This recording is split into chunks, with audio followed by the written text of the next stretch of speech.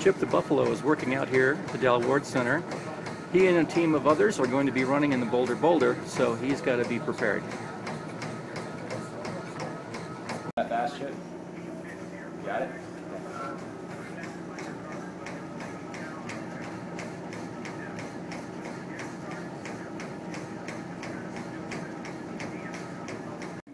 Hi, my name's Dakota Burke. I was a former Chip. I'm about to be a cheerleader next year. I'm here rep- to represent the CU Spirit Squad and the CU Black and Gold Wave at, at this year's 2014 Bolder Boulder.